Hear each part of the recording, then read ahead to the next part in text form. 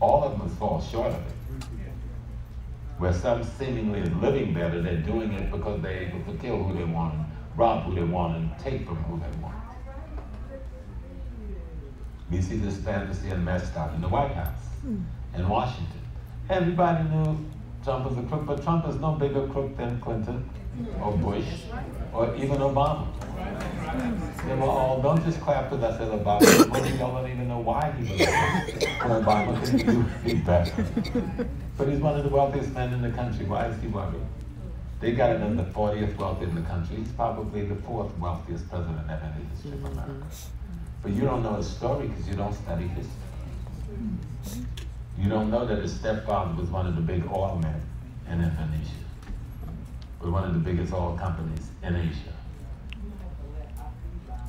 and the trust fund that he left for them. You don't understand how people come in your community and pick the cream of your crop and groom them mm-hmm. to put in position over you in time because they can see ahead what their plan is. And they can do that because they know who they are and you don't know who you are.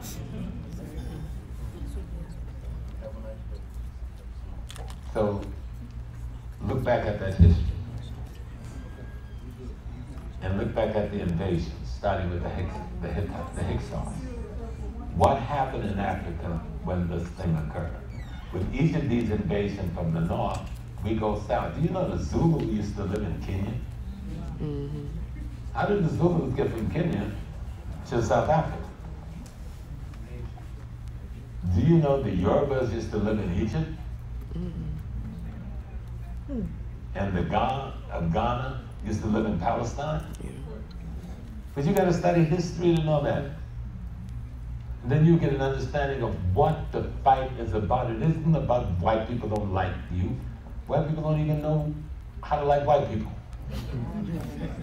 This fight is not about that. They do it in the movies sometimes, and you almost get it. This is really a fight about good and evil in a way.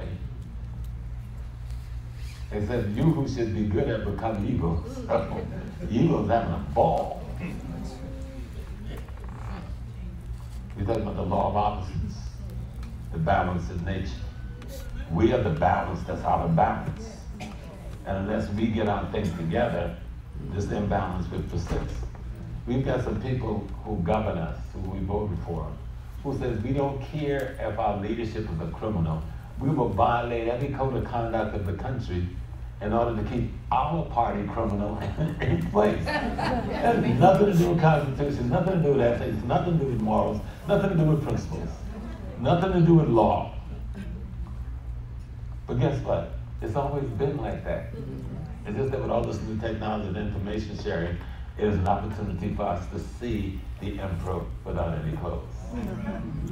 But do we know what we are looking at?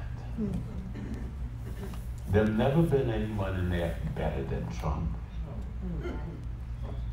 We just can see him more clearly than we saw the others. He's nothing but a pawn in the game. He works for the military industrial complex, certain banking interests, certain corporate interests, for the purpose of doing what? See, at the end of the day, it's so pathetic. You say, oh, they want to build white society. No, they don't. They don't give a damn about white people either. That's why you have all of the crazy little poor white folks from the right going fanatical over Trump. Because somebody dumped them in the trash since the 1600s. They hadn't gotten out of that trash can yet. but they don't understand that they're in the trash can. You're talking about people, you see the Harvey Weinstein thing? That's why they do this. So they can drink the best wine in the world. So they can ravish and misuse and rape any woman they want to get away with it. So that they can live in creature comfort opulence. That's why they do this. Not for no any grand reason, because they got some secret society, we call it the Illuminati. Stop lying to yourself, because most of you don't even know what the hell the Illuminati is. And people say, oh, they even said, oh, the Illuminati killed Brother Brian. The Illuminati kills all of us all the time because the Illuminati is your own fantasy. Mm-hmm. Even if white folks got an organization they call the Illuminati, he breathed the same air you breathe. He walks upright like you walk. he goes to the bathroom like you do. How dare you belittle yourself enough to think that that thing, because they call themselves something, could have dominance over you? Think about it. So let's come back. Let me see if I can pull it all kind of, y'all kind of scatter right now. Oh, Lord, that was small. if you want to experience freedom, you've got to learn how to know yourself. If you want to experience freedom, you must learn how to know yourself. And you got to stop putting things out there in big, unattainable possibilities. This thing fundamentally that we're fighting about is can we provide, or how can we provide, food, clothing, shelter, safety, security for ourselves and our families. Bottom line for everything you do. Bottom line, why are you going to college? I want to be a doctor. I want to be a lawyer. No, you're going to college. You want to make some money. Why do you want to make some money? I got to go buy some food, clothing, shelter, safety, and security. So let's get back to basics. Tell the truth to your mind. Mm. In order to provide food, clothing, shelter, safety, and security, I got to get control of the economics and the politics and the culture and the geographic community where I live. And when I do that, I must be the one that is empowered in the area of land, labor, and resources. But I can't get there because I don't know who I am. I don't know who it is that's trying to get there. Then he said this morning, well, what if I know who I am? I learned about me personally. No, you don't exist as an individual. You are an African being which makes up the African body. That's who you are. But you've got to know who this is to know what your relationship is to that. Right? So history again is the foundation of all of this. History is the foundation of all of this.